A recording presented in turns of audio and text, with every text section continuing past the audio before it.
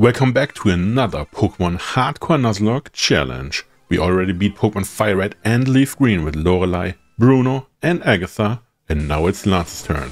That's right, Lance the Dragon Master. Dragons are a huge part in fantasy stories, and some of the most liked mythical creatures. In Pokemon, a dragon does not necessarily have the dragon type, and in Generation 1 only 3 Pokemon had the glorious typing. Since dragon have on average the highest base stat total of all typings, this should be a very easy run. The rules for this run are in the description down below, but in short, we can only catch the first Pokemon on each route, which was in Lance's team. If a Pokemon faints, it's considered dead and we can't use it anymore. The battle style is set, we cannot use any items in battle besides Pokeballs. And of course, we have a level cap to the next gym leader's ace. The team will be loosely based on the teams Lance had in the mainline games, but we won't use the movesets from the games, which might be very hard to implement anyway. As in previous runs, the starter Pokemon is the signature Pokemon, that means we start with Dratini. Unfortunately, that means we don't have access to Charmander in this run, but that's fine. Charizard would be way too strong anyway. The first battle against the rival will be very easy, considering we use a real dragon against a puny little turtle. Okay, that's only a minor setback. I was told the run only really begins after receiving the Pokeballs, so we just continue. In order to receive Pokeballs, we have to enter this Pokemart and get the parcel for Professor Oak, since the delivery service usually gets the delivery a day and a half late. Oak was very happy and gives us the first Pokeballs of the run. Even though we could now catch new Pokemon, there are actually no encounter available until after Brock. Speaking of Brock, here he is. Let's hear what he has to say before we crush him. I'm Brock. My rock hard willpower is evident even in my Pokemon. My Pokemon are all rock hard. Ha! Okay, let's see if they are really as hard as he promises. We only have Wrap, which does terrible damage, and Leer to reduce the defense, but Wrap is so bad that the damage doesn't work out even after several turns. As you can see, we aren't even close to beat the Geodude. After a long time of Wrap and Leer, we lose while Geodude is at about half HP. That's a reset and we have to hope that it was just bad luck. A few moments later. This time will be easy. It was just a fluke. Nope, we still lose and don't have a chance at all. It looked like Brock didn't overpromise in saying his Pokemon are quite hard to beat. That's what he meant, right? Another reset, another try and we don't have a chance. I think it's not possible to beat him. Okay, I actually don't know how to proceed, but let's beat this rival first. Okay, we lose again. I think this is a true case of skill issue. This guy teaches me how to catch Pokemon, but I can't catch any yet, so it's not an option. Hmm? Teachy TV? What is that? How to battle? That sounds like a good idea. It's up to you to smartly use your Pokemon and their moves to reduce the opponent's HP to nothing, and claim victory. I know that, but I can't. Leveling up makes your Pokemon stronger than before. Ah, that makes sense. I have an idea. That's right, we're gonna cheat. I don't see any other way to beat Brock, and we increase the level cap by 1. At level 15, Dratini learns Twister, a Dragon-type move. And in this generation, Dragon-type attacks are special attacks. Even though Geodudes are pretty hard, they don't have a lot of special defense. Brock is here again, and let's see how much Twister does. Oh wow, over half. Well, that makes this battle a bit easier, I would say. Now comes Onix, first appearance in this run. Yeah, he gets totally destroyed. Brock is defeated and we can finally move on. Completely fair, we just had to bend the rules a little bit. Shame. Shame. Shame. Of course, we use the correct level caps from now on. At a Pokemon Center right in front of Mount Moon is a very nice guy who has our second teammate for only $500, Magikarp. Even though Lance is the Dragon Master Champion, Gyarados will be the best addition by a mile.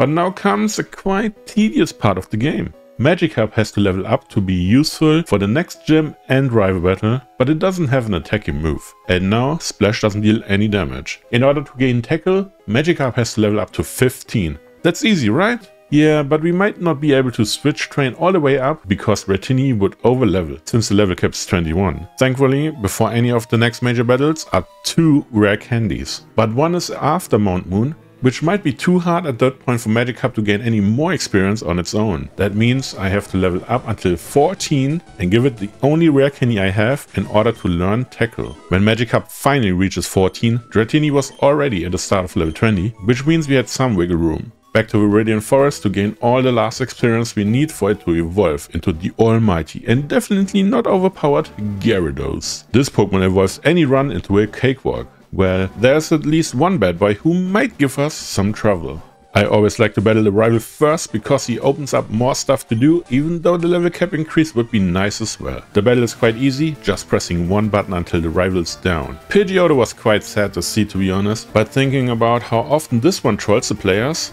this is fine. Rattata has no stats to defend against the Water Snake. Squirtle is here, but it can't do anything as well. And Abra is only a glorified Magikarp at this point. Rival lost all his Pokemon. And we can move on, thanks for the experience. Here's a little problem. This camper is in front of the TM for Secret Power. Very strong in the early game. I'm not sure how much experience his team gives, but I'm absolutely sure that I'm too lazy to look it up. Gyarados has only about 500 experience left, but losing the run for something so stupid, I'll skip it for now and challenge Misty first. Misty is the very annoying water gym leader and her policy is an all-out offensive with water-type Pokemon. So we will do the same and start with Gyarados to whoop her ass. Staryu comes first, but doesn't have any relevant moves against us. And Gyarados can't do it, which means Recover is used a lot. What was that about all-out offensive? And after Bite finally flinches, Staryu goes down and the last Pokemon is Starmie, just a bigger Staryu with weakness to Bite. It has only Swift which can deal a bit of damage, but our Water Snake is just too much and Misty is defeated. Now with the increased level cap, we can beat the camper and get the TM for Secret Power. Rattata, useless. Ekans, not worth talking about. He's already defeated only two Pokemon, which were about 350 in experience points. Maybe I remember it for the next run, or reset. On the way to the most American man in the game, I realize I don't have access to Cut, since Gyarados and Dratini can't learn it. So I asked this wannabe gangster Giovanni to help us out and catch a Meowth as our HM slave on the way. Don't worry, it's only for the HM and won't participate in any battle. In order to receive cut, we have to cut down some loser rival. I guess he doesn't care about his Pokemon at all. Versus Pidgeotto, and as you can see how strong Secret Power is. Not only does it above half, it also paralyzes. Amazing. Water Onix basically only uses Secret Power until the rival can go to the Pokemon Center again.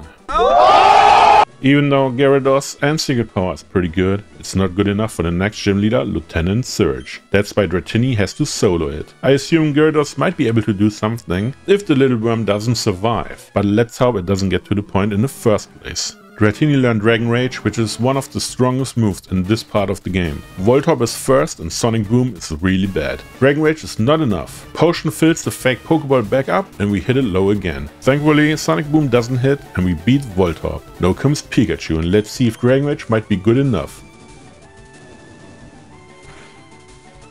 One hit? Like Pikachu has 40 or less HP?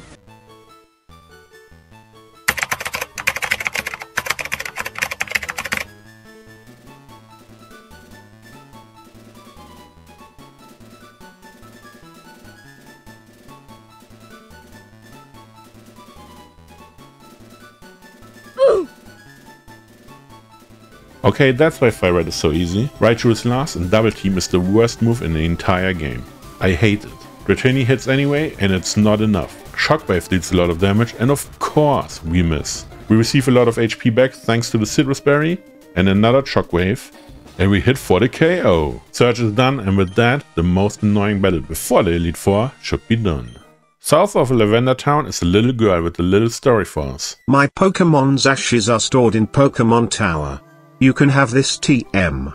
I don't need it anymore. Since her Nuzlocke is already over, she has no use of it until she resets the game. TM Return will play a huge part in my run.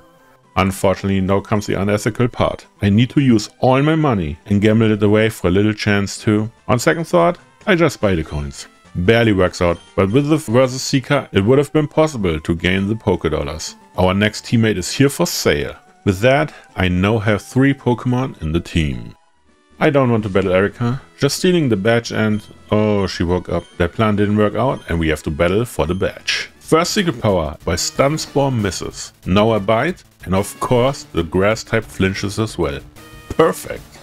Just another secret power? Oh no, it's not enough. And Stun Spore hits? At least Cheri Berry helps a lot. Erika cheats with some healing items and Gyarados hits it low with secret power. I realized then that Dragon Rage might possibly deal more damage, but it does not. Victreebel misses and that's it for the grass type. Another move and it's done. Tangela is next, but what can it do? Poison Powder misses and that's the end of it. Vileplume is last and we are still at full HP. Dragon Rage hits into the yellow, very good. Of course it misses. Another Dragon Rage easily finishes it. What? 1 HP left? It really has exactly 81 HP? Never lucky. I assume another healing item, but Erika doesn't want to use one and we beat the plant to receive the badge. Some people might call this battle very lucky, and to that I say, player diff. Down in the basement is Giovanni.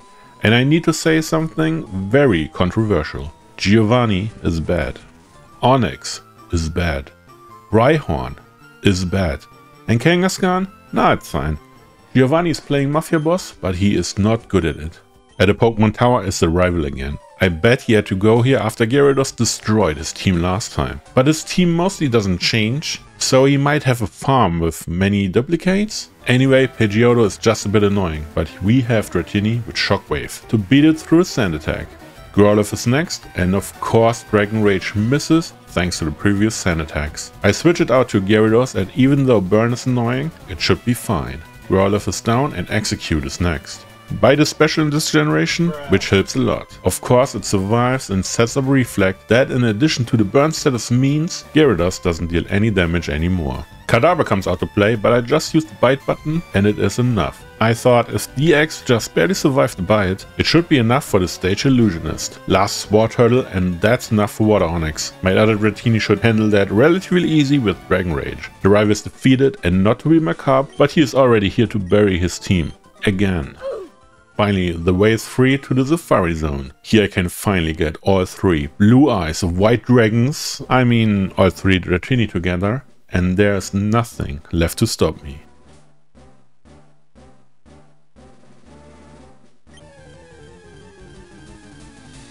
Here it is. Look how easy it will be, just one ball and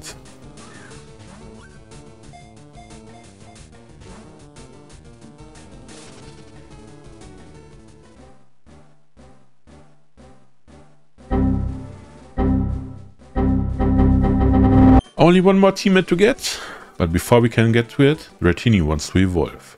Since the last stage is a very high level, we have to make do with Dragonair for now. And Dratini wants to evolve? Huh? Deja vu? I was actually in the middle of an experience and special attack grind when I realized that I have another encounter open. For this, I had to travel back to Vermilion City. Need to use the Super Rod and... Wow, first try. Yes, I take it. Seadra and Kingdra were part of Lance's team in Let's Go Pikachu and Eevee, as well as the post-game team of Fire Red and Leaf Green, so it's fair game.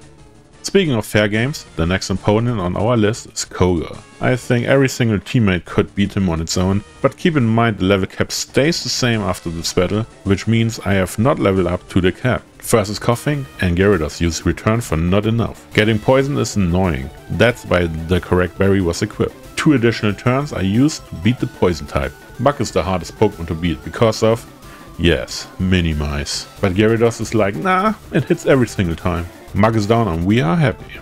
Next Koffing and a critical hit return easily removes it from the field. Last is Weezing and this is so bad.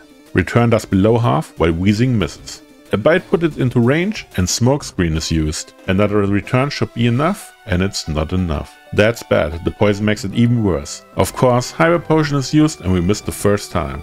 Is it unfair to miss here? Was it fair because of the turns before? I don't know. Switching into Dragonair, but Sludge deals too much damage. Twister's used and... Ooh, that's kind of small. Yikes. Sludge is used again and switching is the next play. Another Sludge puts it low and we have to try it. There's no other way. Twister and Flinch, very good. Let's try again. Twister and crit. That is way to go. Toxic doesn't matter anymore and Justice served to end the battle. That was way too stressful and could have ended very badly. Anyway, Koga's defeated and that is very important for the next step.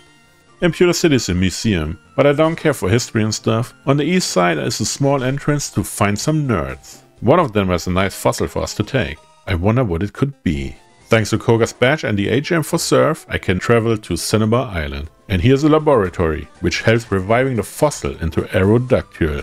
The team is finally complete. It's funny that this is basically the rematch team for Fire Red, which obviously means I planned it right from the beginning, right? Right? With Aerodactyl and the TM for Thief, it's possible to get some power-up items. One is the Hard Rock from the Rock Hard Onix in Hard Rock Tunnel. It boosts Rock-type attacks, hard. Or hardly? Of Fuchsia City is a small grass patch in which wild Fearows roam freely. And in search for Fearows to steal from, we find a weird looking Spearow. And since we are human, we catch it and send our shiny new friend to a zoo for weird looking animals, where it sits all alone in a cage to be gawked at with little food and very miserable until the day it. After a while, the Fearow arrives to give us his sharp beak. I actually wonder what this exactly means. How can it give us a sharp beak? Let's not think about it too much. This item boosts flying type attacks, but as it turns out, I didn't really need it for this run. Yeah, too bad. With all this preparation, I can move to the top of Silph Co. And the rival wants to battle once again. I find it very fascinating that he has more Pokemon after I already sent multiple of them to the Pokemon Tower, but it is what it is. Pidgeot is the first one who has to go, but with the new team member with Ancient Power and an equipped Hard Rock it was no problem at all. Blastoise is too dangerous, but we have learned from Misty to go all out with watered Pokemon and Gyarados comes into play and beats Blastoise after a long time a return against many Protects. Next Growlithe and Gyarados is already good enough, but Aerodactyl could get a boost with Ancient Power and is strong enough to beat the team on its own. Ancient Power hits and KOs, but no boost. Exeggcute is next, but Wing Attack is too strong against it. Last is Alakazam, but it has no defense and is down after a single move as well. The rival is defeated and should honestly just reset the challenge, but I have a feeling he will come back. Giovanni is still here, but let's be honest, Giovanni is bad. Nidorino is bad. Nidoqueen is bad. Kangaskhan that's fine. I had to switch as well. There was the last Pokemon, but I don't remember it anymore. Must have been bad as well. That is the Silph arc done. As a thanks for rescuing the company, I received a Master Ball, which is completely useless at that point. A little fun fact, the last Julia has two Clefairy. Each gives 2 HP EVs. I did a 1 from Overlord, complete Nazarick Nightmare stuff. Destroy these two and resurrect them right after with the store item Versus Seeker to grind EVs. HP is the most valuable stat in my opinion, since Fire Red and Leaf Green are quite easy to play through, especially with the Lance Gang. After having a little bit of fun, I move on to the next gym leader, which is the Psychic Sabrina. But Aerodactyl with Hard Rock equipped should have a very easy time. Kadabra is first, but Ancient Power, and it's gone. The boost is very nice, but maybe not necessary. Mr. Mime is next and, yeah, didn't stand a chance at all. Now comes Venomoth, and Ancient Power is super effective. That's it for the Moth. Last is Alakazam, but let's be honest, it never stood a chance. This badge was very easy to gain. Thank you for your sacrifice. The next gym leader is a real psycho. I don't know if it ever occurred to you, but in order to enter the gym, you need a secret key, which is hidden inside the Pokemon Mansion. But what about the trainers inside the gym? Can they even leave? Are they even real? Imagine waiting until the rescue comes and it's me, the guy who will destroy them for experience, one by one. As you can imagine, the battle is relatively free. I have a Seadra, which is a water type, with Surf, which is a water special attack, and Seadra was trained inside Pokemon Tower against the Gastly until the special attack wasn't able to grow anymore. Yeah, Blaine never stood a chance. And I wasn't even at level cap, since I knew it would be so easy. Only one more badge to go. I nearly forgot that this is the joke of the game, Giovanni. You can imagine how it will go. Giovanni is bad. Rhyhorn is bad. Dugtrio is bad. Nidoqueen is bad, well actually. Nidoking is bad. No, that's not correct either. Rhyhorn is bad. That's it for the gym leader. They never stood a chance. Besides Brock, the strongest of them all. The rival waits for me, and I level up to only 53, the level of his ace. I don't know what his strategy is, but seems to be just throw stuff at me and hope that something sticks. Doesn't work, but let's see. Pidgeot against Aerodactyl doesn't look too good, a single ancient power with Hard Rock is easily enough. No boost, but it wouldn't stand a chance against Blastoise anyway. Switching into Gyarados, and that will be very unfair. Blastoise doesn't have a single useful move against the Water Onix, while it has Dragon Dance to set up fully and wipe the team from then on. It's a bit funny that after all these dances, Return still didn't one hit, but it's fine. Blastoise set up Rain for some reason and I plan to use it to the fullest. Surf against Rhyhorn would have been enough anyway. Whirlwind comes next and Rain stops, oh well. Is still enough to beat the dog. Exeggcute wants some action and Return destroyed it easily. Last is Alakazam, it saw all his friends going down one by one. And now it's time for it as well. Return hits and the rival is defeated again. This wasn't even a real roadblock to be honest, but what can I say? Lance Gang did what Lance Gang does best. There's only one thing left to do and that's beating the Elite Four. But before that, Ragnar evolves into Blue Eyes, White Dragonite. And the other Dragonair evolves as well. Funny enough, I forgot that Outrage would not be possible to gain after beating the game this way. So I delayed the second Dragonair's evolution for some levels to gain it. Realized it after the first Dragonite, but it's fine. Everything we can do for the Elite Four is done. We can face Lorelei, the Master of Ice, my worst matchup. The only out I have is Gyarados. Dewgong comes first and we have to tank some Ice Beams while the fake Water Dragon sets up some Dragon Dances. After 2 it's enough to start. Return hits and it is enough to beat Dewgong. Cloyster is next. This takes a while thanks to Protect and the high defense stat, but after a while even this one doesn't stand a chance and goes down. Slowbro comes and goes after a single return as expected. Jynx doesn't have the defense stat to survive and goes down after a single return as well. Last is Lapras and Gyarados goes the Lance route and use Hyper Beam, which misses. My disappointment is immeasurable. And my day is ruined. Let's try again and use Hyper Beam. Hits and Lapras is down. That's the first Elite Four member done. Next on the list is Bruno, and I don't think it will be any problem. This might be the perfect battle for Seadra. Onix is first, but what can it do against Surf? Nothing. Just losing. Hitmonchan is next, and Surf will surely be enough. Oh, it's not? Rock Tomb is very annoying. The Water Dragon has to tank a big hit and then hit with another Surf to beat one of the hit ones. The other one is here, and Brick Break does a lot of damage. But Surf is not enough to beat Hitmonlee. Mega Kick? Uh, not even close. And Surf chaos. Now comes Machamp and Seadra did enough, trading places with Gyarados. Intimidate and not very effective. What can Cross Chop do?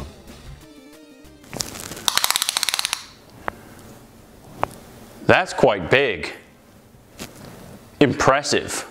Return might deal a lot of damage and it puts Machamp into the yellow. Scary Face is very annoying, but probably the best move for Gyarados. Sitrus Berry gives some HP back. Now I get very greedy and of course get punished heavily. Machamp uses Bulk Up to boost its defense as if he knew what's going on, and Gyarados uses Hyper Beam, but Machamp survives. Gyarados has to recharge, and Bruno uses a Hyper Potion, so that worked out fine. It's fine, everything is in control now. I switch into Dragonite and see another Bulk Up, which means that physical attacks are now too weak to use, and Surf does a lot of damage. That's the perfect time to use Outrage, since it will KO Machamp, and even though Dragonite is locked into Outrage, the last Onix does not have a good special defense, KOs it in one hit. Bruno is defeated, unfortunately not via Hyper Beam, but it happens. Agatha is next, the most annoying battle in this game. But I already prepared with Aerodactyl and the rock hard hard rock. First is Gengar, as usual, and here comes Ancient Power. It doesn't KO, but the boost is activated. This battle is over as long as nothing crazy happens. Double Team is bad, and the Flying Rock Dragon misses of course. Little side note, I always forget that Aerial Ace is obtainable on Road 9, so Double Team is technically not an issue. My bad. You are made of stupid. Next turn Wing Attack hits and the first Gengar is down. Arbok is next and the attack boost is gone. Ancient power hits and does a lot of damage, but Iron Tail puts Aerodactyl into the yellow. Another ancient power KOs, and of course another boost is activated. Agatha must be so mad right now. Golbat is here, but what can it really do? Another ancient power plus one attack and Hard Rock is enough to beat it in one hit. Now comes Haunter and we can just use the last ancient power to KO it. Another boost? That 3 from 5? That's amazing. What are the odds? Last is Gengar, but we don't need to talk about that one. Wing attack blasted from the battlefield with ease. Agatha is done, and the worst thing that happened was that I haven't used Hyper Beam here. Tragic. Now comes the imposter of the run. A fake, an impersonator, a pretender, a fraud. Let's say it's a hoodwinker. We start with our blue-eyed white Dragon Knight against the Water Onix. Hawkgrave is still here for the specific matchup and Gyarados is down. Dragonair's next, but Lance copy didn't see Outrage coming, which one-shots Dragonair, and the next Dragonair as well. Lance's Dragonite is here, and of course only two turn Outrage. It was planned, kinda, and Persim Berry comes to the rescue. But let's be honest, Outrage is the best move here, and it also nearly KO'd the Dragonite. It used Safeguard. What was that again? Oh, okay. It does nothing. Berry costs some HP, but it's over. Another hit, and Lance's Ace is defeated. Only Aerodactyl left, but what can it really do? It has to use ancient power and take the boosts while Outrage doesn't deal enough damage anymore, right? Wait, no, that was only a joke. Let's switch out into Gyarados. Wait, no, not Gyarados. Mistake number one, don't switch into a Pokemon, which has a weakness against the move most likely being used. Ancient power is used again and does nearly half HP, Okay, don't worry, we got this. Surf hits and doesn't care. Oh no. Gyarados barely survives. Let's use another surf. Mistake number two. Don't use an obviously weak move in a free turn. Ooh, not even half. I'm now in the menu and look for an answer, because this is really bad. Gyarados is still needed for the last battle. My idea was to either have a way to safely win, or make a sacrifice which allows me to still win the Nuzlocke, and then I realized that the answer is pretty obvious. Switching into Seadra easily tanking the ancient power, and even get the poison point activated. All that's left to do is survive the wing attack and hit back with Surf to win the battle. That was a little bit closer than I imagined it to be. Now comes the final battle of the run. The rival went back to his farm to receive new copies of his team in order to beat the Nuzlocke. The strategy is pretty obvious. We start with one of our Dragonites against Pidgeot. This Dragonite has Thunderbolt and should easily beat the bird in one. Oh, it's not enough? That's not good. Actually, it's very good. Full restore will be wasted early on, and two more Thunderbolts finish this Pidgeot off. The rival assumes Rhydon's pretty good here, but it is not. Surf is really good though, and another Pokemon is easily defeated. Since I'm at a huge advantage, I want to clone a bit and use Hyper Beam against Alakazam. Unfortunately, Psychic was used and a special defense drop occurred, but it doesn't matter since Alakazam is no more. Exeggutor's next and this is so funny. Sitrus Berry restores some HP and Egg Bomb misses, which made Hyper Beam completely free. Dragon Claw hits for over half, but Sleep Powder is annoying. Testing one turn, but Dragonite snoozes through it even though an egg bomb detonates right in its face. Time to switch into Aerodactyl. Egg bomb doesn't deal enough damage and a casual wing attack removes the grass type from the game. Of course, Blastoise shows next makes perfectly sense, but Aerodactyl job is done and switches places with Gyarados. Hydro Pump hits but doesn't matter. Return is used and puts it right above half. Another return puts Blastoise in the danger zone, but Sitrus Berry returns some HP. You know what this means. Gyarados uses Hyper Beam to destroy Blastoise. But we took so much damage and now the recharge turn, it's time to say goodbye to Gyarados. Because Arcanine is now here to end this glorious... What?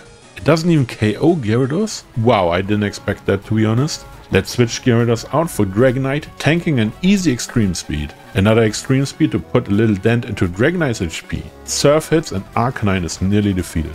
I get greedy again and run into the full restore turn, using Hyper Beam, which does not KO Arcanine. Of course, it needs to recharge a turn now, but why stop here? Dragonite uses another one to end the Nuzlocke on a high note. The rival is defeated, Lance style.